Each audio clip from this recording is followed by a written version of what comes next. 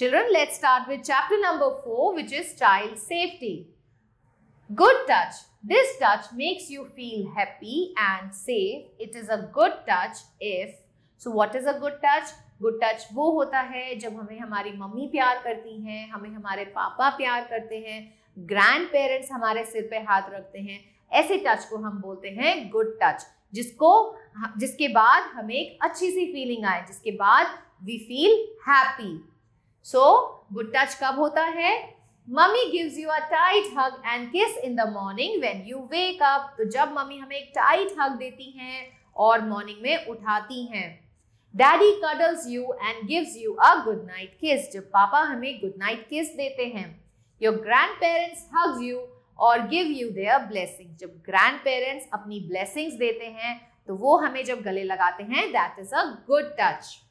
your teacher pats you on your back for doing well in the exam जब हमारी teacher हमें शाबाशी देती है कि आपने बहुत अच्छा परफॉर्म किया है एग्ज़ाम में that touch is a good touch you and your friends hold hands and walk तो जैसे हम अपने फ्रेंड्स का हैंड्स पकड़ के मूव करते हैं पार्क में घूमते हैं स्कूल में वॉक करते हैं so that is also a good touch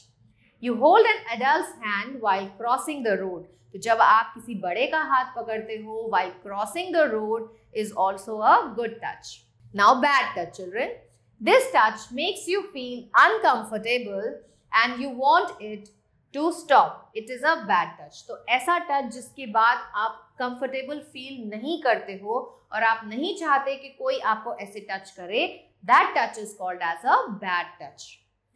bad touch always hurts you आपको परेशान करता है, आपको दुखी कर देता है।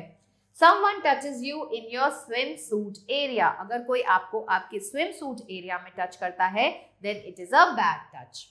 you do not like the feeling आपको बिल्कुल अच्छा नहीं लगता कोई आपको ऐसी जगह टच करे। The person forcefully touches you जब कोई आपको ज़बरदस्ती टच करता है that touch is also called as a bad touch the person forces you to touch him और हर और अगर कोई पर्सन आपको फोर्स करे कि उनको आप टच करें that touch is also a bad touch it makes you frighten तो आपको ऐसा टच जो फ्राइटन कर दे, वो भी एक बैड टच ही होता है. The person tells you it is a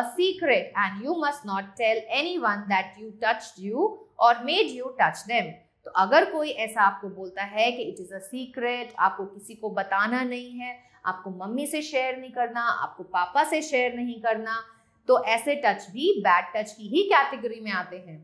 The person says that will